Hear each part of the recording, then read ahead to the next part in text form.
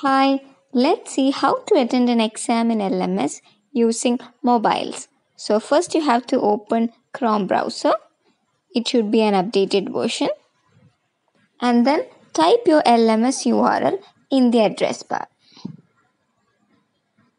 After typing, you will get a window. Click on Student. Now you will get a window to type your username and your password. So type your username and password.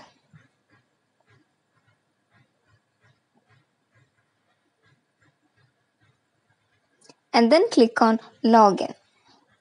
Now click on the sandwich bar icon on the top left and you'll see the menu bar. Click on My Courses in it. Now you can see all your courses displayed and you can go to your exam course.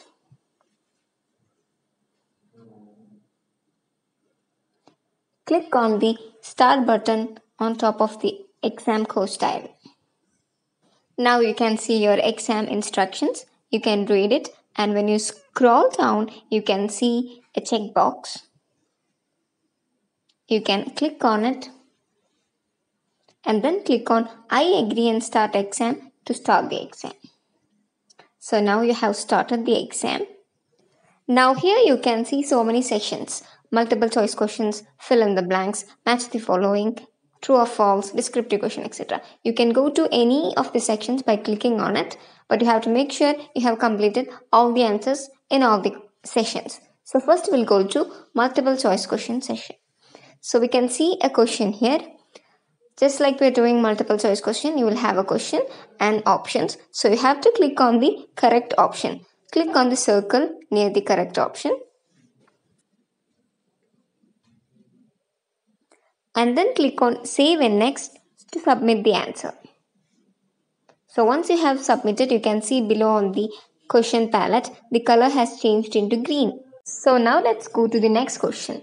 Same as we have done, click on the correct option to choose the correct answer. And if you're not sure about this, you can click on mark for review and come back later to change your answer. So you can see below the color has changed into blue since we have marked it for review. So next question again, you have to read the question and click on the correct answer and save and next for submitting the answer. So when we scroll down and see the palette, you can see that there are so many colors. Green color indicate that we have submitted the answer. Blue color indicates that we had marked it for review. And red color indicates that we have not answered it but viewed it. And gray color indicates that we haven't even viewed the question. So we have to make sure that all the palettes have turned into green before we have we are finishing the exam. Okay, so when we click on any question in the palette, we'll go to the respective questions.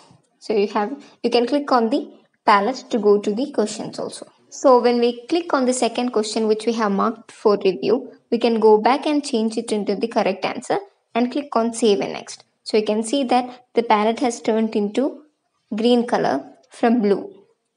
So just like that, you can change all the palette into green that is, you have to submit all the answers before we are quitting the exam. Okay, so we'll go to the next section, which is fill in the blanks question. In fill in the blanks question, we have to just type on the blank spaces. You have to click on the first blank box and then type your answer.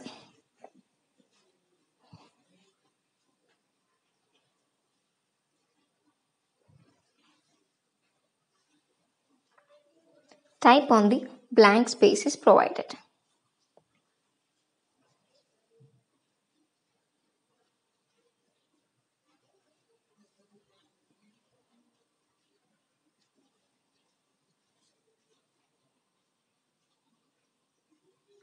And then you can click on save and next to submit the answer. So just like this, you can complete all the questions in the fill in the blank session. You just have to type on the blank spaces provided. So next we'll go to match the following session. Here in match the following, you just have to drag the correct answer near to the respective question. You have to drag and keep it on the respective question keep it near to the respective questions. So drag and keep it into the correct space. And after doing all the match the following, you can click on save and next to submit the answer. Now let's go to give one word section. Here in give one word, it is given as fill in the blanks. So you just have to type the correct answer on the space provided. And then click on save and next to submit the answer. Just like that, you can do all the answers in the session.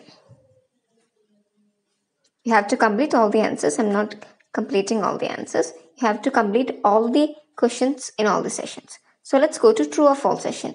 Just like we do MCQ, you just have to read the question and click on either true or false. And then click on save and next to submit your answer. Just like that, you can do all the true or false questions in the session. So if you have already submitted a question but you want to do it again, you can click on the reset option and then you can type your answer once again. For all the questions, in all the sessions, you can click on reset and do your answer again. And then click on save and next to submit your answer. So this is how we reset your questions. Next we'll go to descriptive question. In descriptive question you will have your question and you will have your answer space provided below. So you can either type your answer in the space provided or else you can attach your answer sheet by taking a clear photo or scan photo and attach it. So you can either type it on the blank space provided. So if it is language subjects, you can click on type other language option given. And here you can select your language and type it and you can copy it and paste it on your answer space provided. Else you can attach your answer sheet by clicking on attach file and choosing your file. It should be a clear photo or else a scan photo. You can scan your answer sheet using CamScanner application. And make sure the file is shown below once you have attached it. You can click on view file to view your file.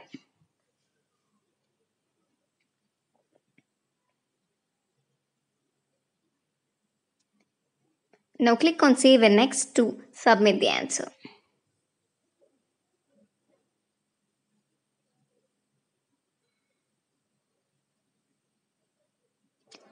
So you can either type your answer or else attach your file.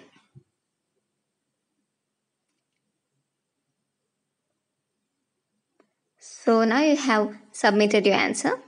This is how we do descriptive questions.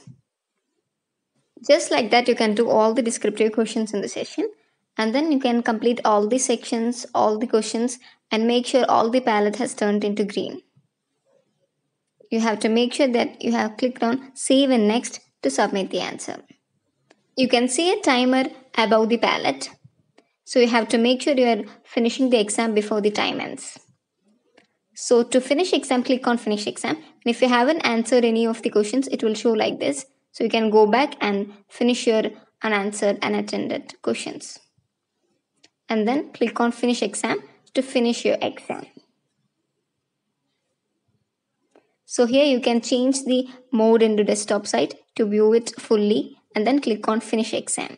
So since it is a summative assessment, you won't be able to see your results soon after you have finished your exam. It will be shown once after the results has published. So this is how we attend exam in LMS. So hope you have all understood. Thank you.